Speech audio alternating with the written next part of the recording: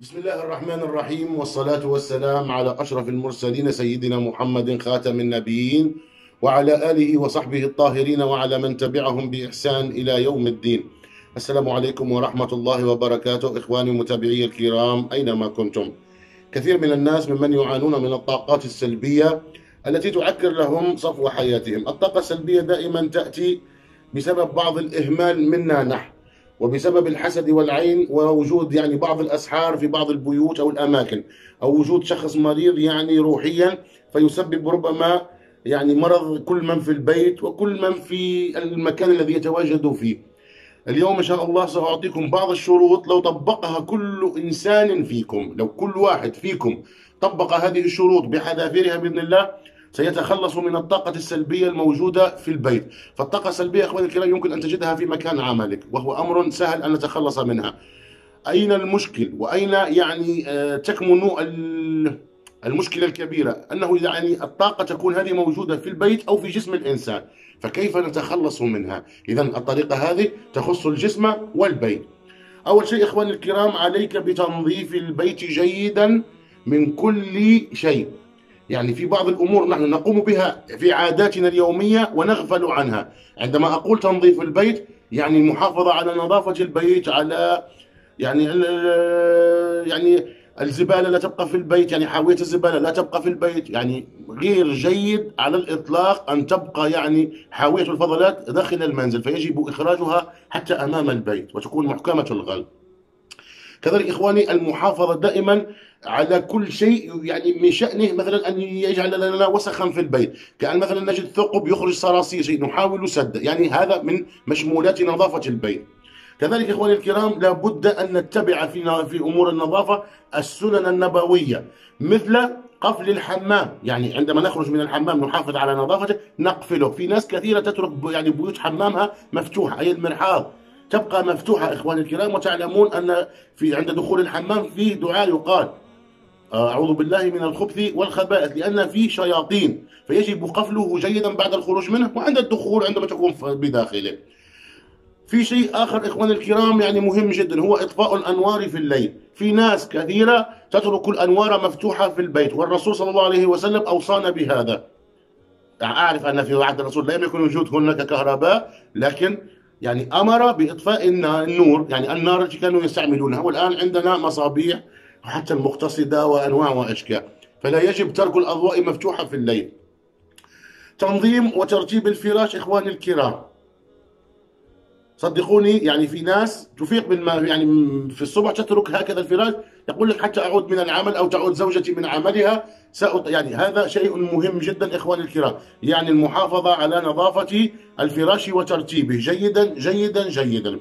في ناس أخرى إخواني الكرام تترك المواعين متسخة في الليل بعد العشاء ولا تغسلها.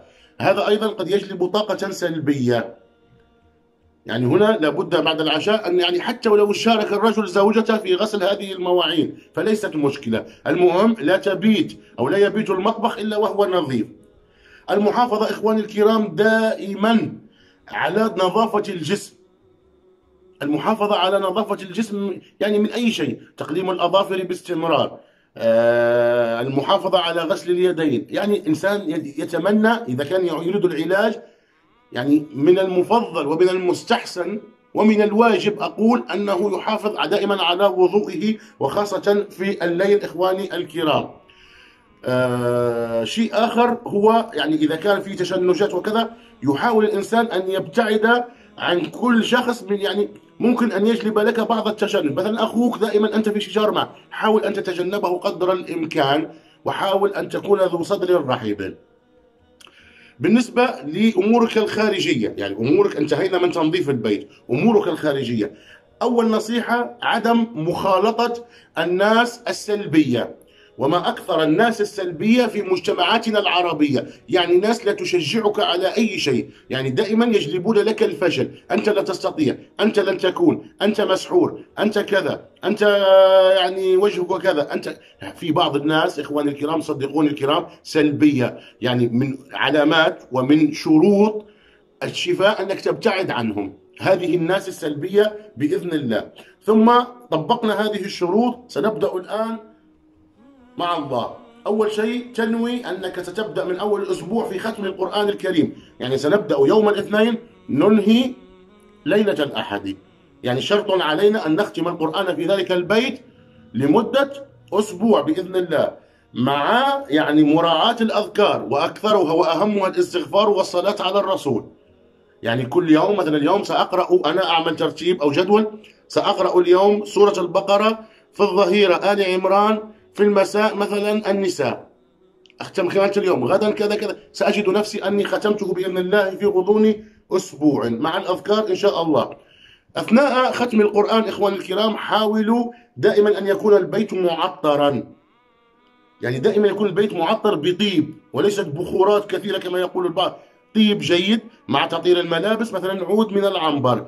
مثلا معطر جو دائما حاولوا أن تجلبوا يعني رائحة تجلب السعادة والانشراح في صدر الإنسان. إلى كل هذا أو إضافة إلى كل هذا إخواني الكرام هناك شيء مجرب.